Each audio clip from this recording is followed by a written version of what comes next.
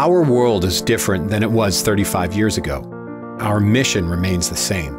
More than ever, our world needs engaged citizens who can bring diverse perspectives to the complex questions we all face. And it needs people who can do that while reflecting the love and hope of Jesus Christ.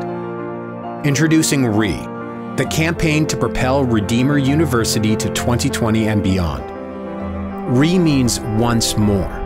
It means looking back at our roots to shape academic renewal going forward. It means retelling our amazing story to new and familiar audiences. It means making Christian University sustainable so that our impact resounds in our communities and culture for generations to come.